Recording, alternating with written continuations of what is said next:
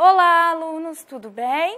Estamos aqui para mais uma aula do Atendimento Educacional Especializado, o AEE, para os alunos do quinto ano de todas as escolas municipais de Barretos.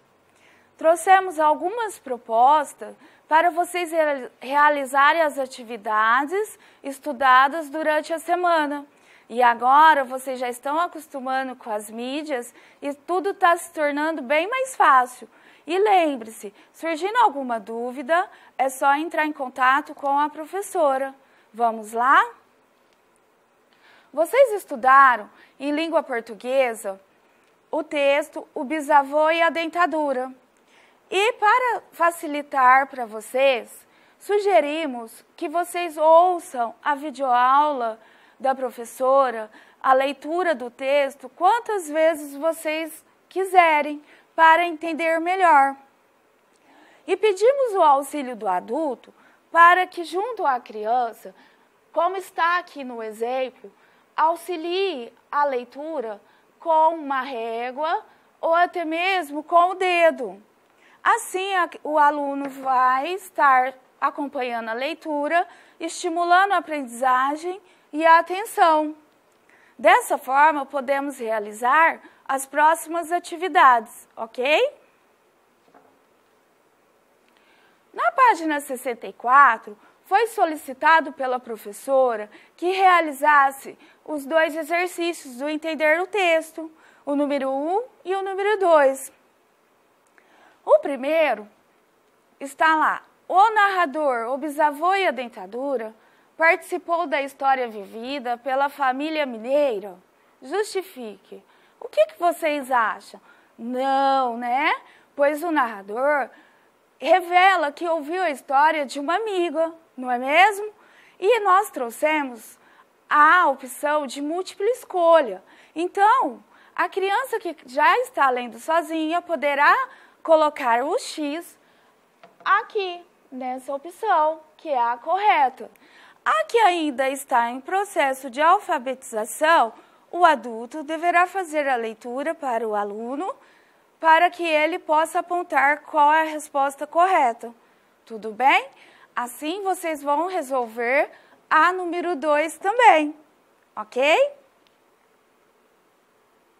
Ah, vocês aprenderam também na página 69 sobre as formas de linguagem que é a coloquial, que nós usamos mais, a formal, que nós encontramos mais em textos, jornais, não é mesmo? Tá? Para deixar mais acessível para vocês, colocamos as opções correspondentes ao banco de palavras. Olha lá, tem opções que vai estar em vermelho, onde está a palavra coloquial, que é só você estar fazendo a escrita.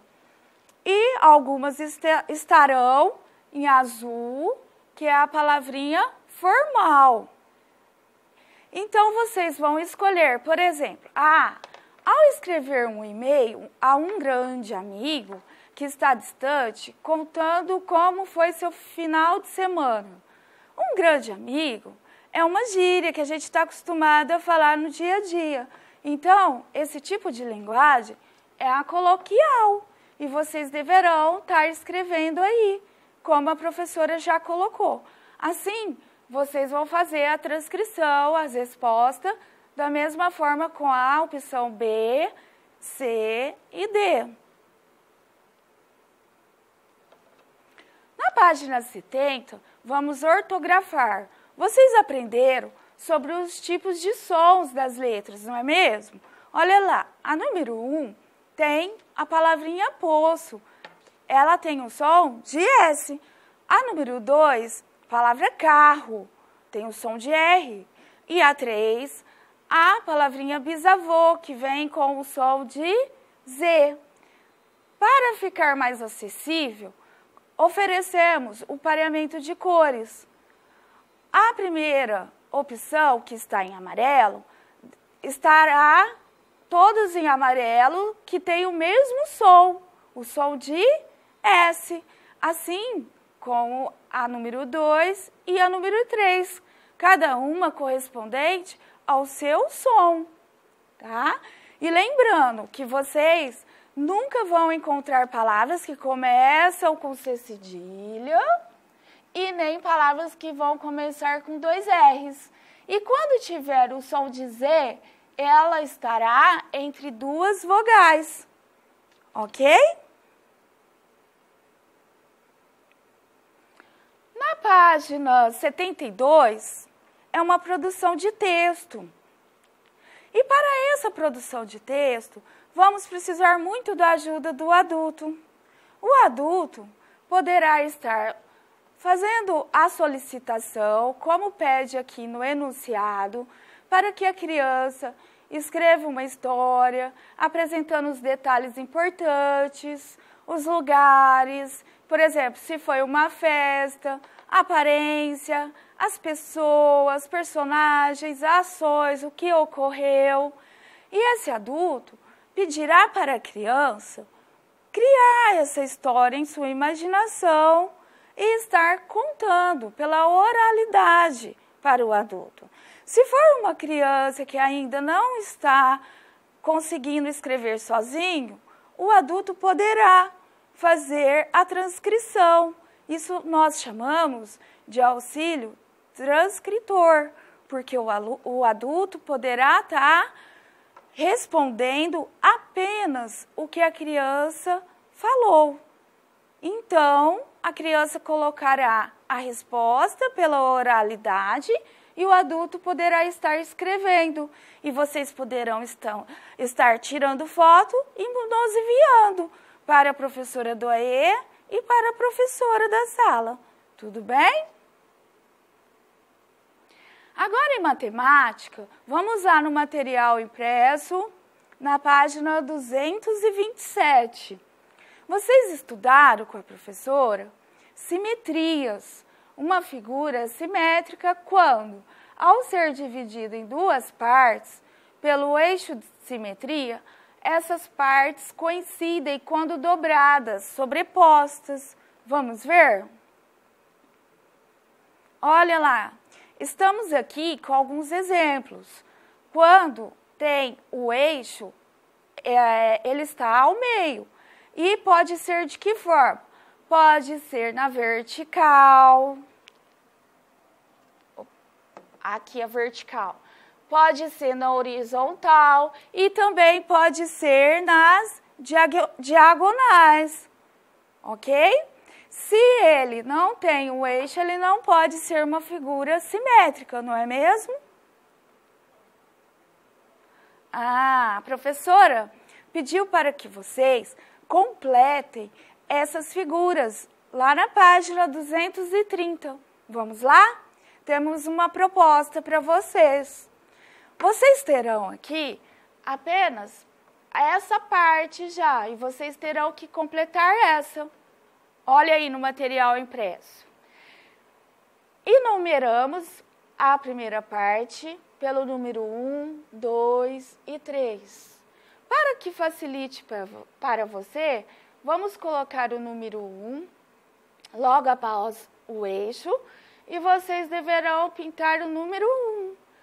Depois coloque o número 2 e vamos pintar o número 2. Note que na hora que vocês forem colocar o número 3, deverá é, pintar só a metade, tudo bem? Assim, vocês vão fazer da mesma forma com a opção B.